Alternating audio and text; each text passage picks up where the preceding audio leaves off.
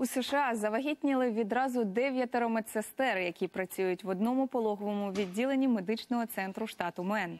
Вони влаштували спільну зворушливу фотосесію, позували з різнокольоровими аркушами, на яких зазначено дату пологів.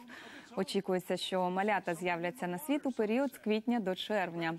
Роботодавці запевнили, готові відпустити в декрет усіх медсестер одразу.